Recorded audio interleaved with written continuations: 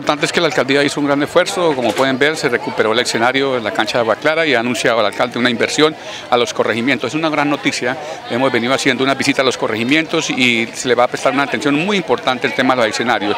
En el día de hoy en los corregimentales eh, hemos podido eh, congregar cerca de 700 deportistas de todos los corregimientos de la ciudad.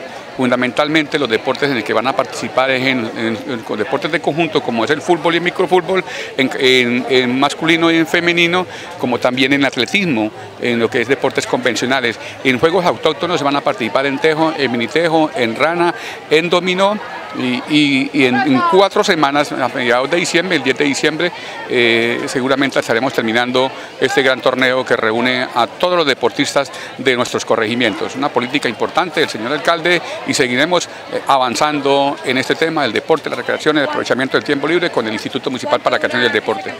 Dura un mes, cuatro semanas, donde participando en diciembre estaremos terminando y dando la premiación respectiva.